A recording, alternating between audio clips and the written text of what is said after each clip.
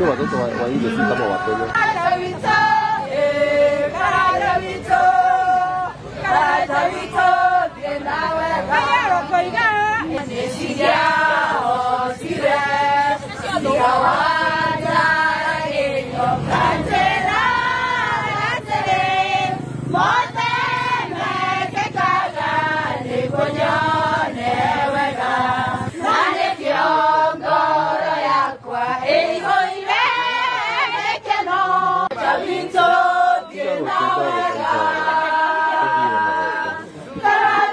lupeponiena kuku hasa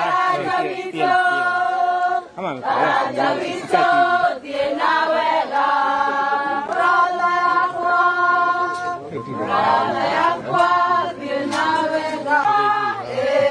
Muthuri wakwa, muthuri wakwa, thiĩ nawe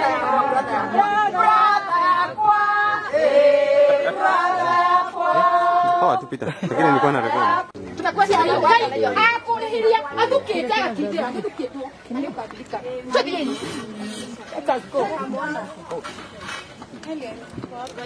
tũgathikia mũrũ wa nyũkwa gagetika mũra nyina. Ahingĩte kĩhingo. Ana waua uko oya. Rĩu akaiga nduba rwathikirwo ekũ? Mũthuri wayo Although we are not legally married, we've been living together for the last 17 years and we have two children, one 12 and one 2 years old.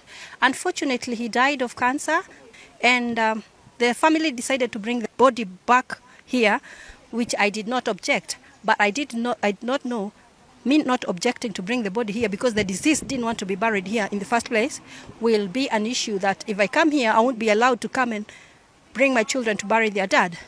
But my first son has gone to bury his dad, but my two year old, because he can't go with anyone, so me and him, we've been locked out. When we came home, we came and we were told we were not allowed to come in.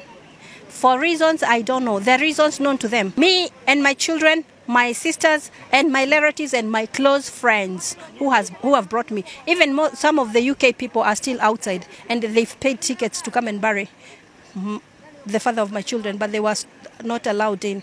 I don't know why they are refusing me to go and bury somebody I've lived with for the last 17 years. And when the, bar, the my partner died, we never had any issues. In fact, the day before he died, he held my hand and he squeezed my hand and told me, "Look after my children."